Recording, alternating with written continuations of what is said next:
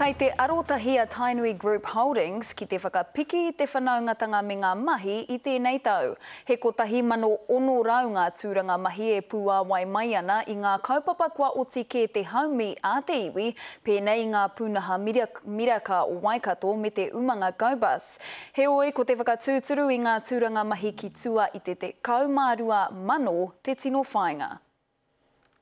He tirohanga mīharo ki ngā rawa me te tō hou kei raro i te ringa pakihi o Waikato Tainui. 2015 represents another huge opportunity for us to grow our business, grow our people. Hoi i te tau kua hipa, kua whiua te whakapae ki te whakararu a Mike Pōhio i tōna tūranga mahi, me te mōhio i wehe ngētehi o ngā pou me ngā kaimahi e whakamihana i te iwi. Hoi kei te anga whakamua te pane o te ringa pakihi o Waikato Tainui, kua whakarite mai ngā tatau ki ngā kaihoe hou hei hoi i te waka.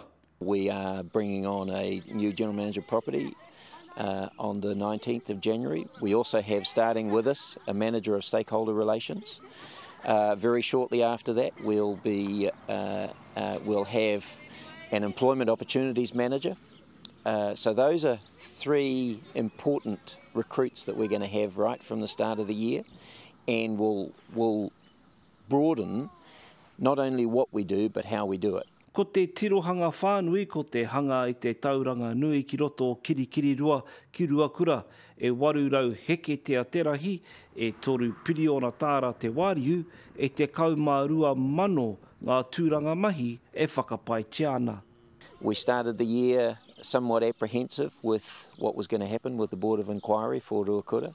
We've completed the Board of Inquiry decision, got a, got a very good outcome there, and cemented that now into the Hamilton planning process. Mai noa ko te hoko i ngā pākihi whenua te pūtake o Tainui Group Holdings, hoi kua huri te titiro ki te hoko i ngā kamupene maha kia nui ake te pūtea hei whakahokia ki te 60,000 o ngā wiri o Waikato-Tainui, e 1,600 ngā tūranga mahi.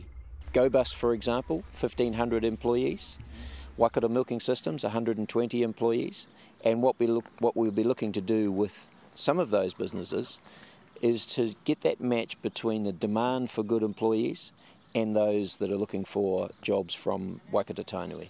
Ko te pātai nui mehemea he wero kei mua i te ringa pakihi mō te tūhū kei raro i ngā ture hou o Te Kauhanganui. Pōtaka Maipi, Te Karere.